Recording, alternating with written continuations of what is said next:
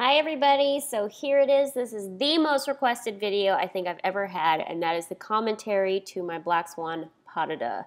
Uh, so let's go. Partner is Seth Orza. This is a guesting performance, um, as the previous Swan Lake videos. This is the act where you can kind of see the illness set in, the fatigue. Um, I didn't look as crisp as probably Act 1, but I still had a lot of fun with this. I love being the bad girl and flirting. Um, and that's what makes this de. Even if you're not having a good technique day, if you sell the character, that's what matters. The other difficult thing, of course, is that you come out of the wing with a bang, and that first step can sometimes, you if you anticipate and jump the gun, you've already lost your breath. so I love this little flick step, flick to second, open, fouette to attitude, sort of an en dedans fouette um, to arabesque. That's fun. Um, and the most important thing, like I said, is the character to flirt. You know, it's this is not about show. Like, look at me, look at me. It's about to him and luring him in and drawing him in. You know, it's not about the audience. That's people get a little too um, audience friendly on Black Swan for me. Uh, and that's when it goes wrong. To me, it's more about look at me, look at me to the prince. Um, sometimes this step right here, this little fouette to attitude, sometimes it's partnered, sometimes it's not. We elected to do the non-partnered version, which is harder for the girl. Thanks.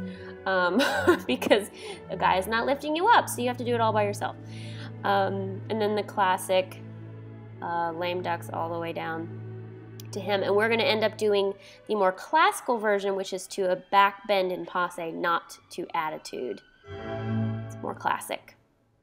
So right here, you're happy because you can start to breathe. You know, many deux get harder as they go. Black Swan, depending on the version, gets a little bit easier. You get some time to breathe. You get a couple of walking around moments, some flirting moments. So that was always nice. And Seth and I, again, are doing sort of a different combined version of many versions. Um, so she's flirting with him here.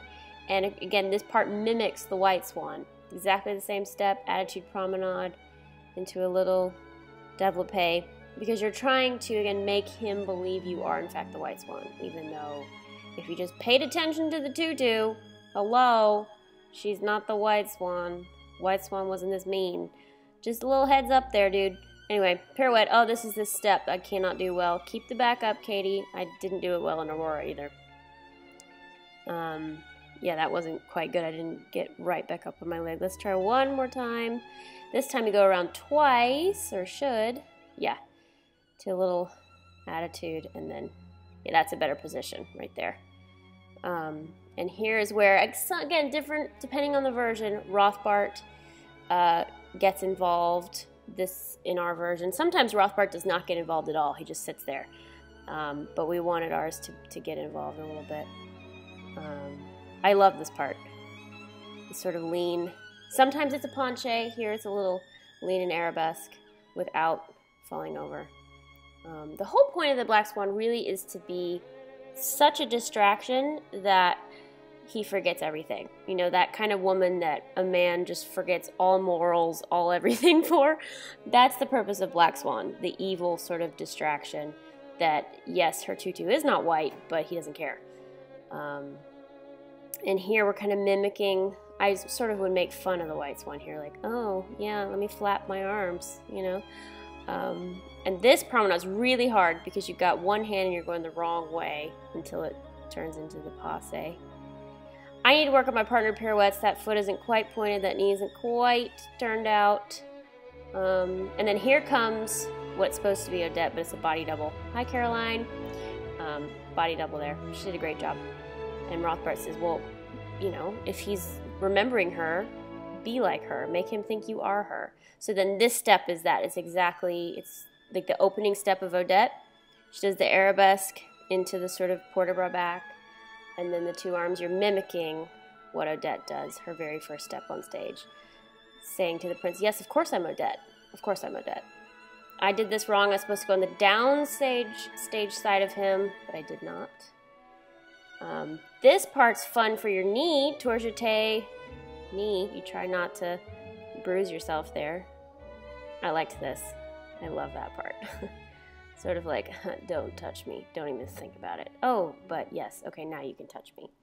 And another promenade. Classic ballet step. This, I'm not sure if this is the show. Yeah, I'm supposed to stay in attitude, but I kind of messed that up, so I went to passe and readjusted, which is totally fine. Um, and this was another little moment to breathe where he says, please, please, and she says, okay. And I always tried to, as Odile, to keep acknowledging Rothbart because, in my opinion, he's the one controlling the entire situation. So keep acknowledging Rothbart, keep saying, okay, am I doing the right thing? Okay, am I doing the right thing? Because if you acknowledge Rothbart, then it keeps him in the story. Um, this right here is sometimes a penché, sometimes an arabesque. I think I was not quite on my legs, so I just stayed in the arabesque there.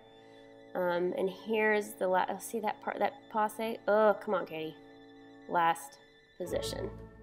Which is really hard for this particular show because there was no conductor. It was all taped, so we had to kind of guess, and luckily we guessed correctly there. Um, yeah.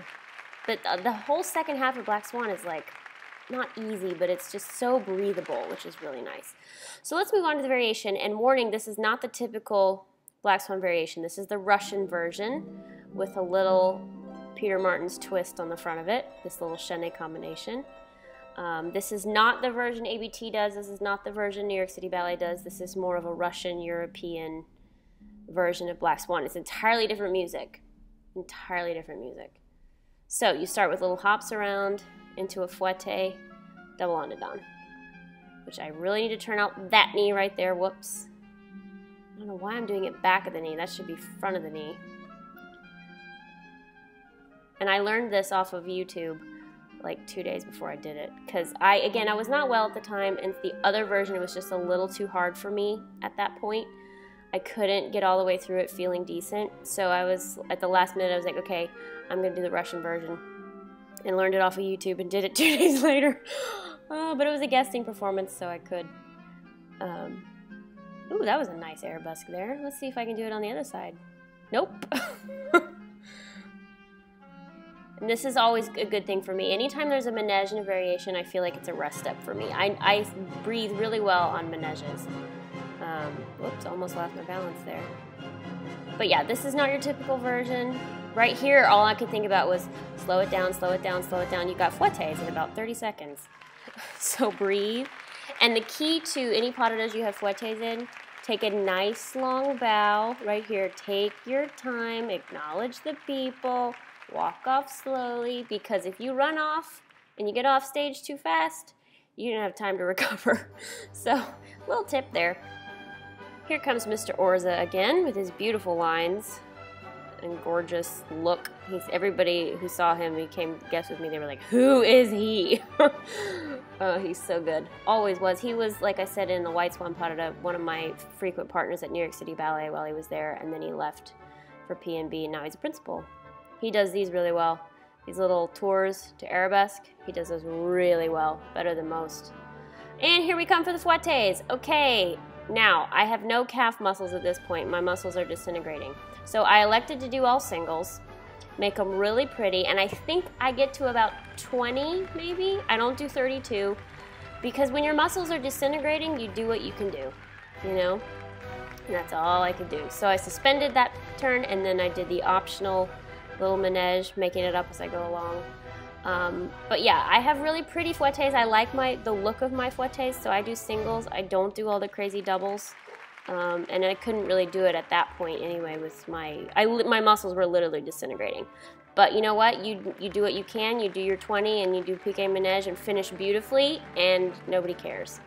And it was really slippery. So Seth, I remember him saying, I just had no, no traction there. Uh, this is my favorite step. This little arabesque thing little Russian pas. I love that. Oh, that's so much fun. And right here, you also know your fouettes are over, so you're like, yay! My turns are done. Um, but you really do have no legs by this point because of the variation. You have no time to breathe. Um, so you're just at this point praying to, to finish. And right here, you're absolutely joyous because all your hard stuff is over Act 4 of Swan Lake is just all about the beauty and the emotion, and you're done. Yay! So that's Black Swan, you guys. Again, not my best dancing uh, because I was so ill, but you guys really wanted to see it, so there it was. If you missed my video on tips for teaching ballet, it's right there. You can click it to watch. Love you guys so, so much, and I'll see you next time.